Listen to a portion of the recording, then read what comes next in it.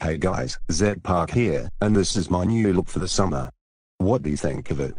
Comment below. Also, stop being rude to my best friend CassyTheVyondGirl2001. She's always been a nice girl. The reason she told to subscribe to Dylan Saitigi's Imposter was because I got angered that he kept making at least one video per month. He should take a month break from YouTube. Same goes for Brendan Barney. Anyways, this is me, signing off.